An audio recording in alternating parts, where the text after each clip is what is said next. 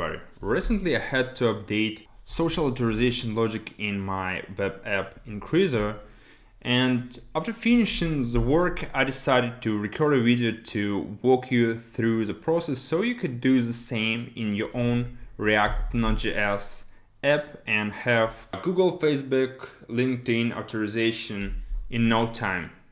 Let's begin. Go to Increaser and see how authorization implemented here. There is two buttons, sign in, sign up, and both of the models share the same component with links to corresponding authorization provider. So you can see the bottom there's like LinkedIn, Facebook, Google, and the same for sign up. So it's basically the same component, the only difference is text. Let's try to sign up with Google. I already have an account and voila, we authorized in the app. That's pretty much it. Now we could go to the front-end code and see how it's all implemented. We start, you should understand that you need a client ID and client secret for every provider. There's more details on this on in the blog post that I attached to the description. You could go there and check it out. It's pretty easy. You go uh, to Google Developer Console or Facebook developer, LinkedIn developer, create an app there and enable OAuth 2 authorization. Then you copy client ID or client secret. Uh, we will need client ID only for the front-end part and we'll use client secrets on the backend. Also, all the codes that will be shown here, you could find in the blog post. I haven't put it in the repository because both projects are private and it didn't make much sense to create a separate repository just for authorization. Frontend there is one component that we reuse between both models and we distinguish which model is which by taking purpose from the state and based on purpose we show different text here.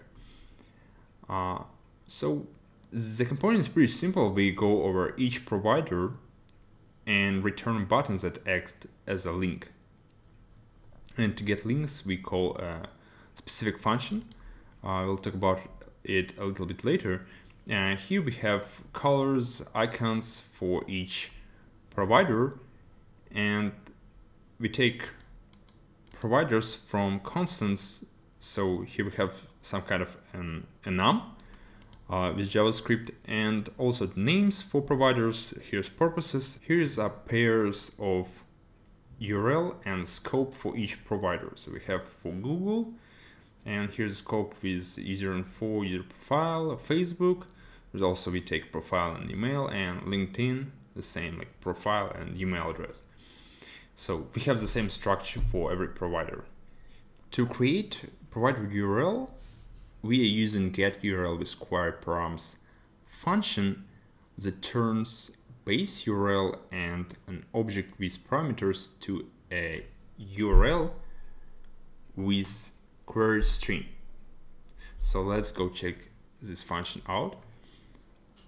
So what it does, it iterates over each parameter and creates a query key and we join all of this with uh, and then we return base query separated by question mark. So this way we create URL with query parameters. There are some difference between providers, but client ID, redirect URI, and scope present in every URL. And in order to get client ID, we take it from environment variables. Uh, in order to generate redirect URI, uh, we call this function. So for example, if uh, we have Google provider, it will look like increaser.org, uh, path in this case OAuth, and then query parameter provider. So we have the same page, but query parameter will differ between providers. Uh, that's pretty much it. So when user press on one of the button, he will be redirected to one of these URLs. And once he's finished, he'll be redirected back to URI we specified here. There's nothing happens in OAuth page. We don't return or render anything, and instead we call a specific action that will do all the logic. And this action triggers an appropriate saga that take query string from the URL and immediately redirects user to the main page. So he doesn't even see this page because the redirect will happen immediately. But at that moment we already have query string and if it's present we get code and provider from the string by calling query to object helper. It parses query string, uh, it's splitted by the sign and returns an object. So we check if there is a proper provider. In this case, we execute query. Let's check this out. So it receives provider, code, redirect URI, and time zone. Uh, we need it for increaser. You most probably won't need time zone. So we pass uh, it to the query and receive email, name, token, token inspection time, ID, and first identification.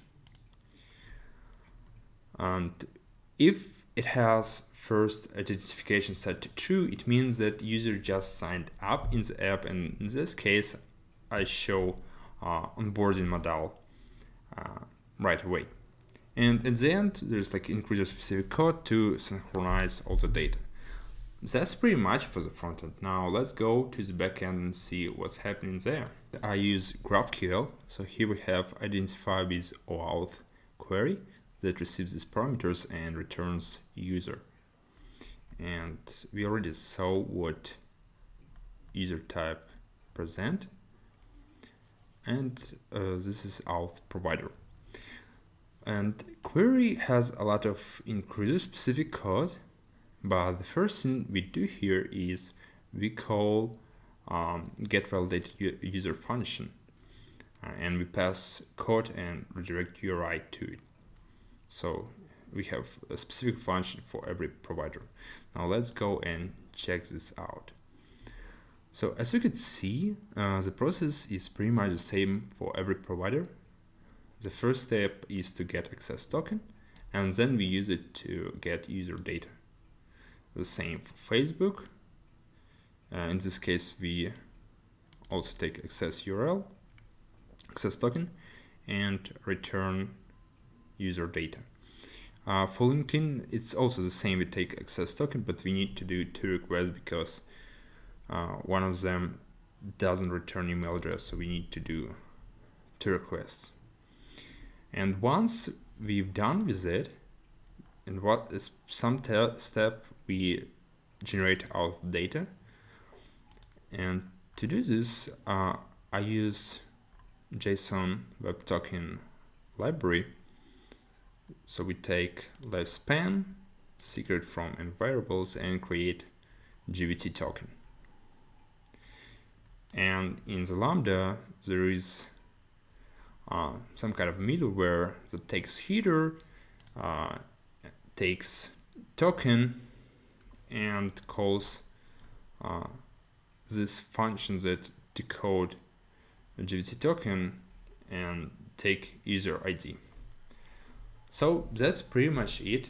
This is how authorization implemented in Increaser. I hope you found something useful in this example and could take something to your own project. Take care.